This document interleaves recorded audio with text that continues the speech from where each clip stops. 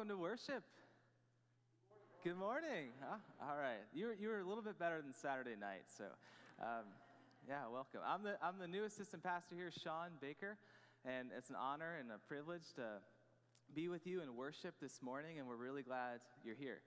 On your way in, you should have received a bulletin, and on the edge it has a perforated side. So write down your name. We, we want to know you're here worshiping with us. And then on the back, you can write down different prayer requests you have. So if you want the staff to pray for you or, or the congregation to be in our prayers later in the service, let us know and put that in the offering plate on your way out. One other thing to make your uh, attention aware of our choir is going to sing for us today, and, and we're thankful for that. And, and, choir rehearsal has started back up. So if you have the voice of music and you want to use your voice to serve Bethany here, choir practices start Wednesday at 6 o'clock, August 11th. And, and if you're interested, contact Kevin Kuski or our organist, uh, Heek Young. Those are all the announcements for this morning, and please rise as we continue to sing.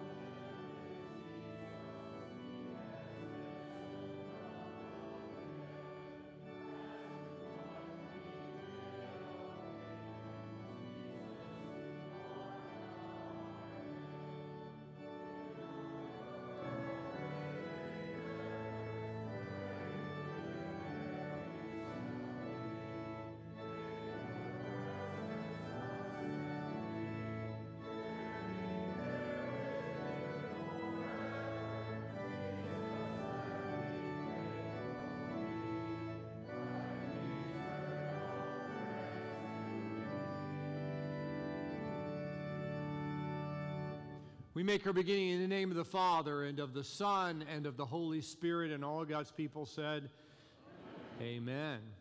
If we say that we have no sin, we deceive ourselves, and the truth is not in us. But we confess our sins. God, who is faithful and just, will forgive our sins and cleanse us from all unrighteousness. We take a moment for silence and self reflection.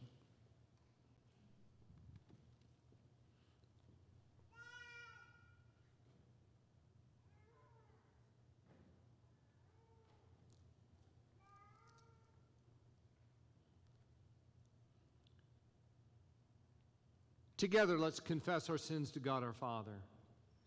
Most merciful.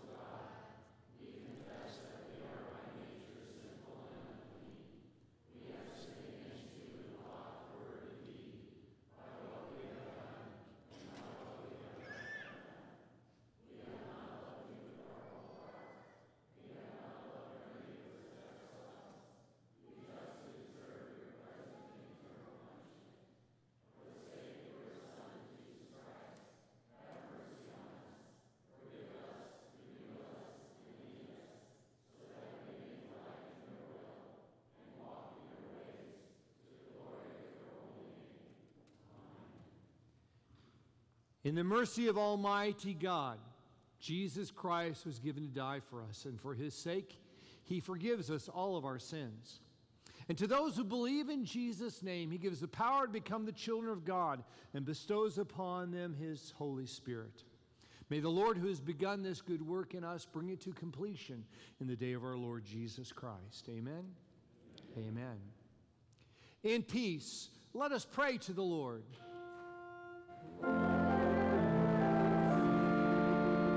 For the peace from above and for our salvation, let us pray to the Lord.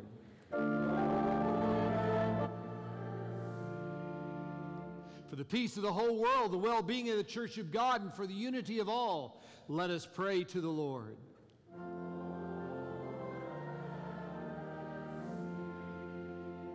For this holy house and for all who offer here their worship and their praise, let us pray to the Lord.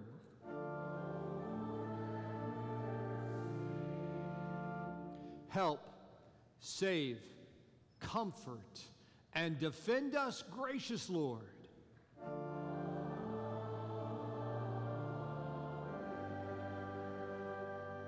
Together we sing.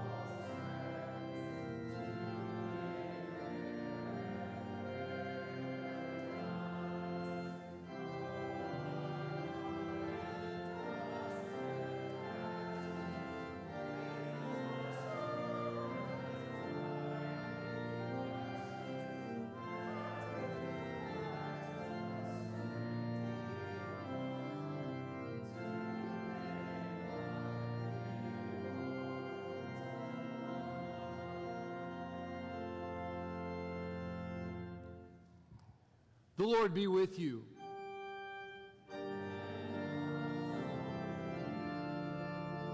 Thank you. Let us pray. Oh God, you declare your almighty power above all in showing mercy and pity. So mercifully grant us such a measure of your grace that we may obtain your gracious promises and be made partakers of your heavenly treasure through Jesus Christ, your Son, our Lord, who lives and reigns with you in the Holy Spirit, one God, now and forever.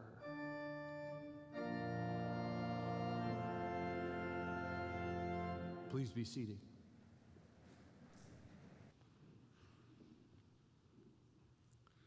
The scripture for today begins in the Old Testament, the first, chap- first book of the Kings, the 19th chapter, reading from the first verse. Now Ahab told Jezebel everything Elijah had done and how he had killed all the prophets with a sword. So Jezebel sent a messenger to Elijah to say, May the gods deal with me, be it ever so severely, if by this time tomorrow I do not make your life like one of them. Elijah was afraid, ran for his life. When he came to Beersheba in Judah, he left his servants there while he himself went a day's journey into the desert. He came to a broom tree, sat down under it, and prayed that he might die. I've had enough, Lord, he said. Take my life. I'm no better than my ancestors. Then he lay down underneath the tree and fell asleep. All at once, an angel touched him and said, Get up and eat. He looked around, and there by his head was a cake of bread baked over hot coals and a jar of water. He ate and drank and then lay down again. The angel of the Lord came back a second time and touched him and said, Get up and eat, for the journey is too much for you. So he got up, he ate, and drank. Strengthened by that food, he traveled 40 days and 40 nights until he reached Horeb, the mountain of God. And this is the word of the Lord.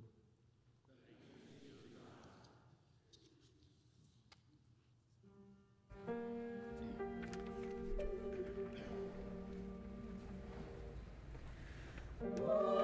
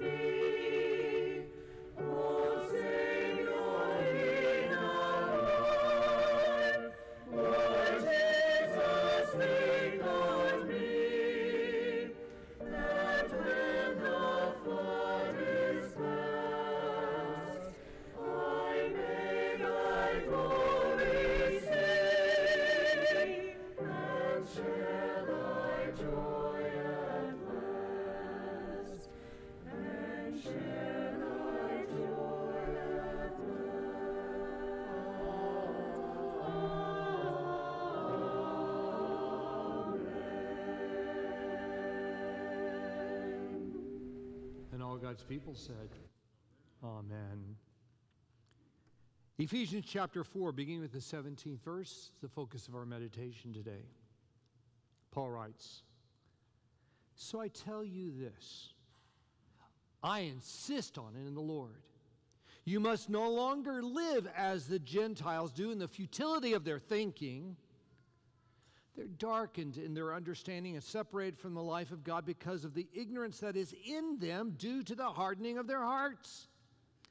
Having lost all sensitivity, they've given themselves over to sensuality so as to indulge in every kind of impurity with a continual lust for more.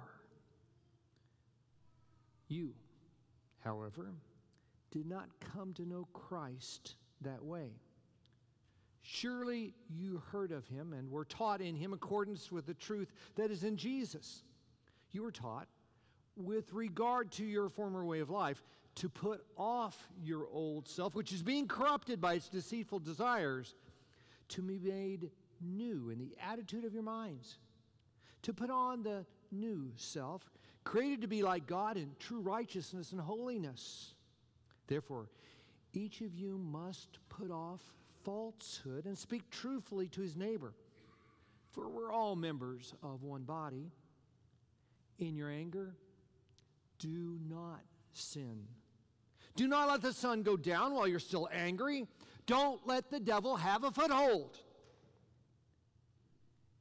He who has been stealing must steal no longer, but must work, doing something useful with his own hands, so that he might have something to share with those in need.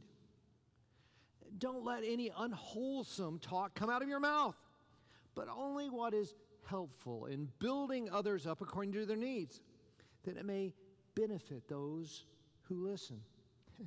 Do not grieve the Holy Spirit, with whom you were sealed in the day of redemption. Get rid of all bitterness, rage, and anger, brawling and slander, along with every form of malice. Be kind and compassionate to one another, forgiving each other, just as in Christ God forgave you. Be imitators of God as dearly loved children and live a life of love, just as Christ loved us and gave himself up for us as a fragrant offering and sacrifice to God. And this is the word of the Lord.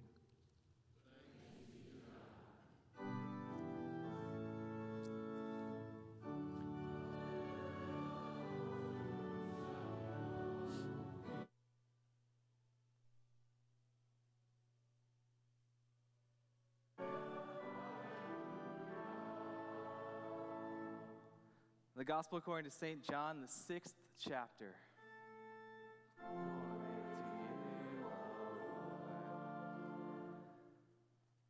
Then Jesus declared, I am the bread of life. He who comes to me will never go hungry, and he who believes in me will never be thirsty.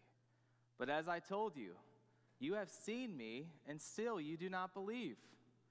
All that the Father gives me will come to me and whoever comes to me, I will never drive away. For I have come down from heaven, not to do my will, but to do the will of him who sent me. And this is the will of him who sent me, that I shall lose none of all that he has given me, but raise them up at the last day.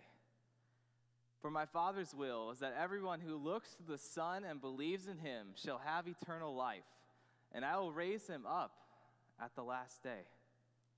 At this, the Jews began to grumble about him because he said, I am the bread of life that came down from heaven. They said, Is this not Jesus, the son of Joseph, whose father and mother we know? How can he now say, I came down from heaven? Stop grumbling among yourselves, Jesus answered. No one can come to me unless the Father who sent me draws him and I will raise him up at the last day. It is written in the prophets they will all be taught by God. Everyone who listens to the Father and learns from him comes to me. No one has seen the Father except the one who is from God. Only he has seen the Father. I tell you the truth he who believes has everlasting life. I am the bread of life. Your forefathers ate the manna in the desert, yet they died. But here is the bread that comes down from heaven, which a man may eat and not die. I am the living bread that came down from heaven. If anyone eats of this bread, he will live forever. This, is, this bread is my flesh, which I will give for the life of the world. This is the gospel of our Lord.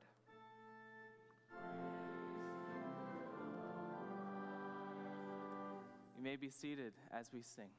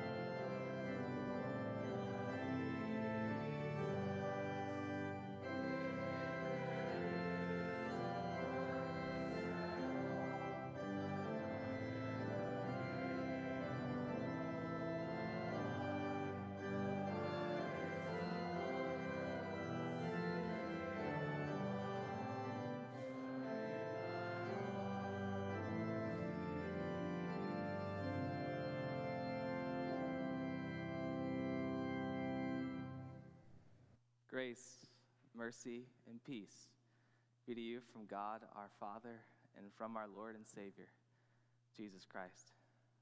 Amen. Before I begin, I want to say thank you. Thank you, Bethany, for all of your overwhelming support for Molly and I as we've transitioned into this new church home. Thank you for the many cards and gifts. Thank you for the prayers that you've said on our behalf and the prayers that you continue to say on our behalf. As Molly and I join this new church home, as we begin to serve our Lord here at Bethany in the church and the school. Thank you, Bethany, because times of transition, they can be tough. yeah, you, have to say goodbye to the old, and you have to embrace the new. And moving is, is definitely a time of transition. When, when you move, you have to say goodbye to the, the favorite restaurants that you've come to know. You, you have to say goodbye to the familiar streets and, and, and faces that you've come to recognize. When you move, you have to say goodbye to that loving neighbor that you formed a relationship with. And, and when you move, you have to say goodbye to that old house, despite all of its quirks and imperfections. And, when you move, you have to decide is this stuff going to stay with us, or is this stuff going to be thrown away or left behind?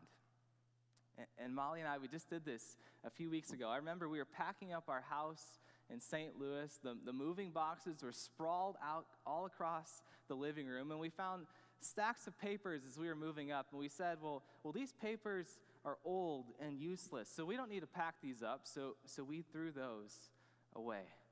And, and then I remember as we were cleaning up our upstairs office, packing up the house, we, we, we found things tucked away in the junk drawer. And, and we said, well, well, well, these things were useful at one time, but, but they're not going to be useful in our new home in Kansas City. So, so we decided to throw those away as well. And I remember for myself going through all the books that I've accumulated throughout my time at seminary. You know, at seminary, you read a lot of books, right? And, and, you know, those, those big, heavy books, those books that you needed for that one class, for that one reading, for that one homework assignment? Well, well, well I knew that those big, heavy books, they weren't going to make it with me on the moving truck to, to Kansas City. Times of transition, they can be tough, but they also cause you to analyze, to go through, to determine do I need this thing or, or, or, do I not? They, they give you the opportunity to throw out, to purge, to, to get rid of the old, useless stuff that you no longer need anymore.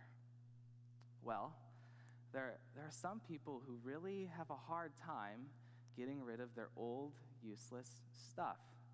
For, for whatever reason, they can't convince themselves to, to clean out, to purge. Now, maybe some of these people, maybe they don't like transition. Maybe they don't like change. Or, or, or maybe some people, the reason they don't get rid of their old useless stuff is because they think, someone is going to want this useless stuff. So, this stuff is going to be valuable for somebody. This stuff is a treasure, right? And, and, maybe some of you picked up some treasures as you went to the, the, the school garage sale this weekend. Or maybe another reason some people like to keep onto their old, useless stuff is because having all their stuff next to them, knowing where everything is at, that's a comfortable lifestyle for them. They, they like to keep all of their old stuff. And in fact, there's a, there's a TV show that documents people and their old stuff, and it's called Hoarders. And these are people who really struggle getting rid of old things, but, but in an extreme way. And maybe some of you have seen it, right? It, it, documents people and all their stuff. They go from home to home with camera crew, and as you, as you see some of these homes that they live in, it, it truly is amazing. There are some homes where you have boxes piled from floor to ceiling, filled with stuff. There are other homes where you, you can't tell what color the paint is on the wall because you can't see the wall. There are other homes where, where you can't tell where one room ends and the other room begins. And then there are some homes where you can't tell what surface the floor is made of because you can't see the floor. There are some people in this world, and maybe you're one of them, who, who really struggle with getting rid of their old stuff. For whatever reason, they can't convince themselves to purge, to clean out. Well, in our text today, Ephesians chapter 4, Paul, he, he's writing to the church of Ephesus. But, but what he says to the church of Ephesus applies to you and me today here at Bethany Lutheran Church in Overland Park, Kansas. Paul, in, in verse 22, he says to the church of Ephesus to put off the old, to remove the old way of life, the way of life before you knew Jesus, and to put on the new. Put on the new self that Christ has given you. So the question is how do you and I, how do we remove the old self and put on the new self? that Christ has given us? Well, it's a really difficult thing to do. And in fact, it's an impossible thing to do if, if we rely on our own strength and our own ability. You see, whether we like to admit it or not, you and I are, are more like spiritual hoarders than clean, pristine people of God. Sure, from time to time, we love to wear the new self that Christ has given us, but, but we sure like to keep that old self close. We, we like to keep it right where it's at, where nobody else can see it. We like to keep it tucked away in the spiritual closets of our lives. It's like that one person who keeps their old clothes in the back of their closet. Even though they're old clothes, they don't fit them anymore. They, they've outgrown their old clothes. And, and maybe the reason they keep their old clothes is because they like the style of them. Or maybe some people keep their old clothes tucked away in the back of the closet because they like the memories that they made in their old clothes. Or, or, or, maybe some people, they keep their clothes tucked away in the back of the closet because one day they know that they're going to work out enough, they're going to get strong enough, and one day that they're going to fit back into those old, comfortable, stylish clothes. Well, that's some of us this morning in our spiritual lives. We remove the old self from us, but, but we sure like to keep it tucked away in the corner where nobody else can see it. That's some of us. And then, and then there's others of us today. We, we hear the words of Paul, and we really want to do what it says. We want to remove the old self completely, and we want to wear the new self that Christ has given us. So we begin to clean, we begin to purge, we, we go to those back corners of our spiritual closets and we begin to clean out. And, and we try hard to clean and clean and clean. But as we try hard to clean and clean and clean, we realize that we can't clean it all. We, can't get rid of it all. So we start to get discouraged because as we clean one corner of our spiritual closet, we find in the other corner an unending pile of our old selfness, our, our, our sinfulness piled from floor to ceiling, and, and we can't get rid of it all. We start to become discouraged because we know that we can't clean ourselves. We can't cl- get rid of it all. So, how do we remove the old self and put on the new self that Christ has given us? Well, one answer is really good news for us that we, that we have a God who doesn't leave us alone to clean up our spiritual hoarding by ourselves. We have a God who doesn't just look down upon us and say, wow, these people are messy, they're hoarders, they're dirty. But instead, we have a God who comes to remove your old self from you. We have a God who, who sends his son, Jesus, to find you in the midst of your spiritual mess. Maybe some of you this morning feel like a spiritual hoarder. Everywhere you look in your life, you're reminded of your sinful past, you're reminded of your brokenness. Well, Jesus has come to find you in the midst of your mess. He has come to clean your mess. Or maybe others of us this morning. We, we try hard and hard to clean our spiritual lives up, but we begin to get discouraged because we know that we can't do it alone. We have a God who sent his son Jesus to clean your whole spiritual house. He cleans you completely. We have a God who sends Jesus to get his hands dirty in your old selfness. And Jesus Christ, to clean you, he put on something new to him. He put on your old self. He put on humanity. He put on death. He put on that purple robe and that crown of thorns for you, removing your old self from you completely so that you could be made new. And because Jesus Christ, because he went to that cross, because he rose from the grave, you have been made new in him. Your, your old self is gone from you. You have been cleaned in Christ. You were made new in him. And maybe some of you this morning are hearing this and you're saying, wow, that's great, Pastor Sean, that, that Christ has given me this new self, but, but I still screw up. I still make mistakes. I, I still don't live according to the new self that Christ has given me. So, how do I put off the old and put on the new? How do I do that? Well, that's, that's where the promise that Christ has given you uh, of forgiveness comes in. That's the, where the promise that you are made a child of God, a clean child of God in your baptism, that's where that comes in. And, and just because we see, we've received these new selves from Christ doesn't mean that we're independent Christ followers off to do our own thing. No. Christ is the source of your newness, he, He's the source of your righteousness, He's the source of your holiness. And, and at your baptism, He gave you the gift of the Holy Spirit to keep you connected to the source, to keep you connected to Him. At your baptism, He gave you the gift of the Holy Spirit to lead you, to guide you, to empower you, to boldly wear the new self, the new clothes that Christ has given you. So, what does that look like? What is boldly wearing the new self that Christ has given us? What does that look like? Well, Paul, he tells us later on in Ephesians chapter 4. Paul, he says, stop wearing falsehood. Stop saying falsehood to your neighbor and live truthfully with them. In other words, when you're talking about other people, don't gossip about them, don't create lies about them, but bear true testimony to your neighbor.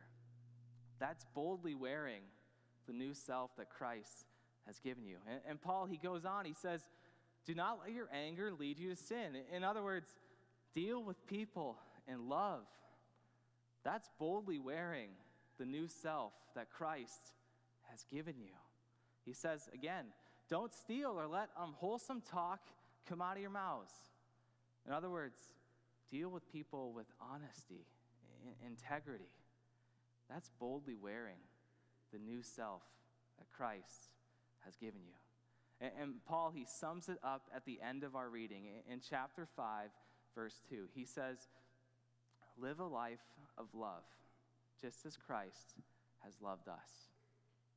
That's boldly wearing the new self that Christ has given you. Sharing the love of Jesus in, with your words and with your actions, that's boldly wearing the new self that Christ has given you. My friends at Bethany, I encourage you today to live a life of love. And that could look different for everybody here in this room. It could look like cleaning the house, doing the dishes, even if you're the one who didn't make the mess. It, could look like giving up your time with the television so somebody else could watch something that they want to watch. It, it could look like making dinner for your spouse, even if that isn't your skill or your talent. Those are all ways that we can boldly wear the new self that Christ has given us. My friends at Bethany, you've been made new in Christ. As long as we're connected to Christ, the source of our righteousness, you are made new. Your old is gone, and you are made new in Him. Now may the grace of God, the God who has made us new, may He guard your hearts and your minds in Christ Jesus our Lord. Amen. At this time, we, we have the opportunity to confess our Christian faith together using the words of the Apostles' Creed. So I invite you to rise. And we join together. I believe in God.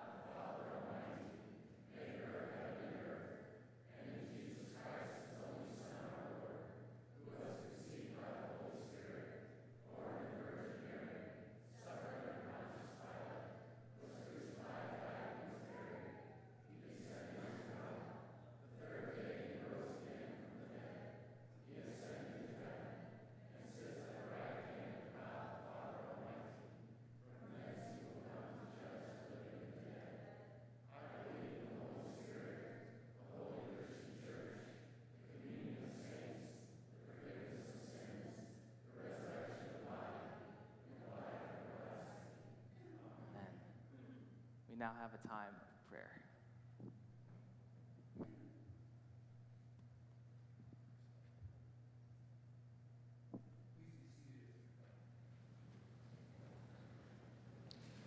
Gracious and merciful Lord, we give you thanks for gifting us with the Holy Spirit, bathing us in the blood of the Lamb, adopting us into your family writing our names in the book of life, declaring us heirs according to promise, all through the waters of baptism.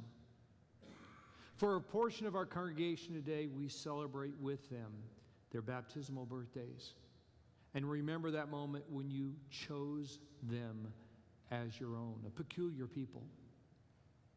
We pray for Andrea and Shannon, for Kendall and Diane, for Bethany, Michaela, for Sarah and Ian, for Jonah. And we pray, Lord, that in the midst of this month of celebration, they might pause and every time they touch water, be reminded of the water that touched the very fibers of their soul and claim them as your own. Lord, in your mercy. Father, we pray for the Spearbreakers, and particularly for Nate, who today is being installed and ordained a pastor. Bless this day for him and for those who gather around him. Empower him, Lord, to lift high the cross of Christ. May speak with purity your word and proclaim Jesus as Lord and Savior, who all have ears to hear and hearts to believe and tongues willing to confess that. Lord, in your mercy. We pray for those who are celebrating anniversaries for KC and for Chanel, for the Stomakowitzes. We pray, Lord, that you be with Carrie and with Carla as well, and that you would bless them this celebration in the love, the greater love that you express to them through Jesus Christ. And may their love be an expression of your greater love to the world around them. Lord, in your mercy. We pray for the youth, for the families that have begun to gather and prepare to begin their catechetical instruction this fall. We pray that their hearts might be opened, that their ears might be attentive, and their voices eager to confess the faith in which they were baptized and to grow in discipleship from glory into glory until ultimately you complete the good work you've begun in each of their lives. Lord, in your mercy. We pray for our staffs at the preschool, the Mother's Day Out, the elementary and the high school as they gear up for the start of the school year and as they begin to make changes in light of the whole COVID uh, experience that we're having now. Help them, Lord, do that which is good and pleasing in your sight, protecting the littlest of the little ones around us, guarding their hearts and their lives, and leading them always toward Jesus. Lord, in your mercy. Father, we thank you for the birth of Emmett. We have long prayed for him and his family. We thank you for his arrival. We thank you for the safety of mom and child. And as they grow and as they develop those relationships one between the other, Lord, bring him into your presence and mark the start of a relationship with him through the waters of baptism. Lord, in your mercy. Father, we grieve, but not like the world grieves. We grieve as a people who know the rest of the story, who claim the victory that is ours in Jesus Christ. Be with the family of Cindy as they mourn her loss. Give them a peace that only you can give, a peace that passes all human understanding, that will guard their hearts and minds in faith until life everlasting. Lord, in your mercy. Father, we pray for those who are struggling with their health, for those who are in our hospitals, in hospice care, at home under doctor supervision, for those struggling emotionally and physically. We pray for Brian and Marianne, and Jean and Pekka, Brad and Heather, and the many others, Lord, that we know of friends and relatives, neighbors, associates, fellow students that are challenged and struggling with their health and with their relationship and with the brokenness that is so much a part of the life we live. Touch their hearts, creating them new spirits and right hearts. And if it's your will to also repair the damage done to them physically or emotionally, to you be all the glory, honor, and praise. Lord, in your mercy. And to your hands, O Lord, we commend all for whom we pray. Trusting in your mercy through your Son, our Lord and Savior, Jesus Christ. And all God's people said, Amen. Amen. We continue now by receiving our gifts to the Lord, and as we do, we'll celebrate the offertory.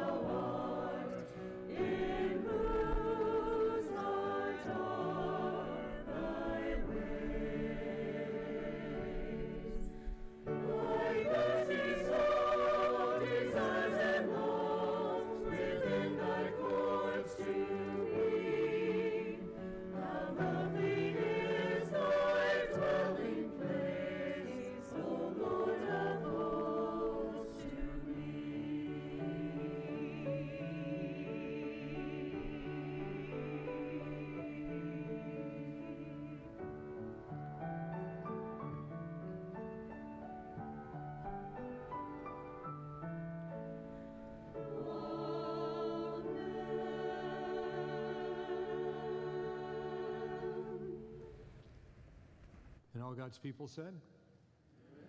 Please rise.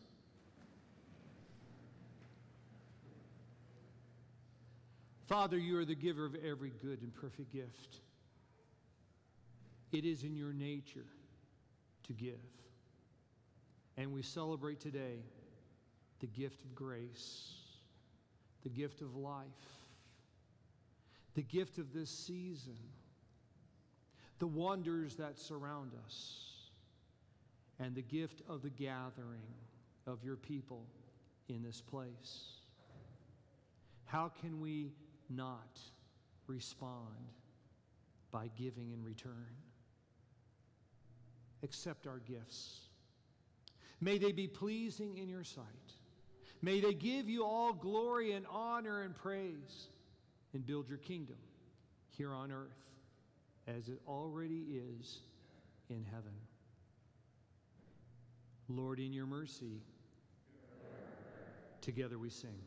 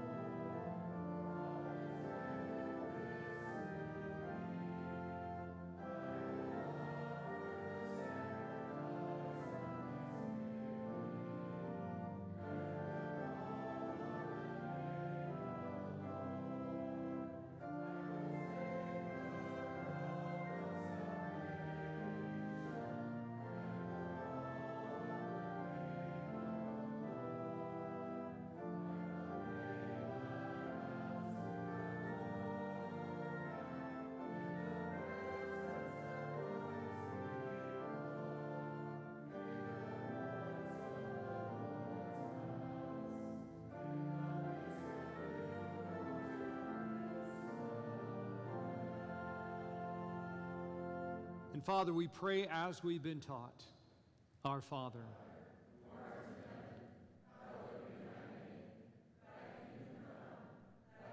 on earth as it is in heaven. Give us this day our daily bread, and forgive us our trespasses, as we forgive those who trespass against us. And lead us not into temptation, but deliver us from evil.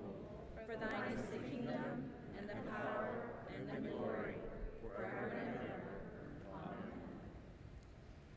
There are many blessings in the Bible. One stands out among them all. This one has a promise. And the promise is when spoken, God puts his name on our hearts.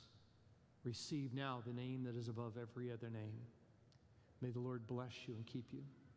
May the Lord make his face to shine upon you and be gracious to you. May the Lord look upon you with his countenance, his favor, and give to you his peace.